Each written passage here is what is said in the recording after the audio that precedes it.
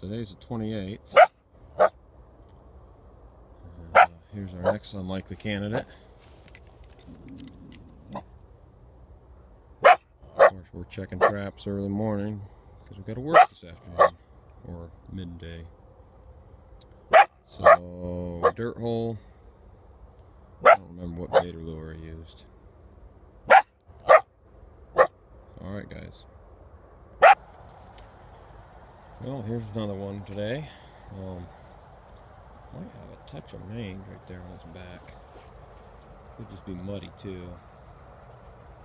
And, uh, good size male. I'm guessing, looks like a male.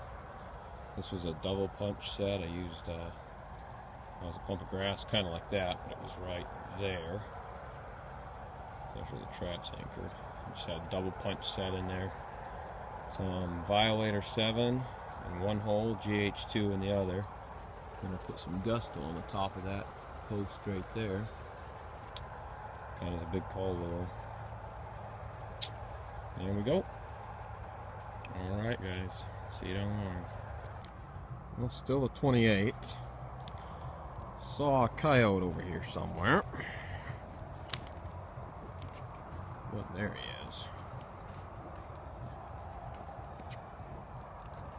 The last one didn't have mange. It had a big old hole in the side of it. I don't know if it got gored by a cow or what. But uh, this is a pretty nice looking one here. Young pup. Um, this was a dirt hole. I caught that one first check right over there.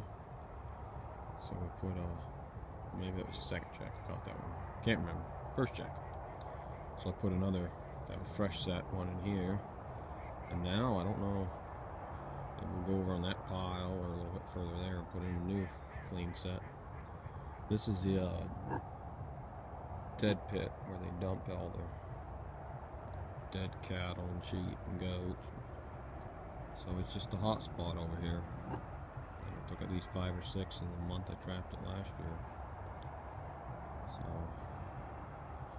a dirt hole. Probably had they had either Hiawatha or John Graham's Cat Creek bait.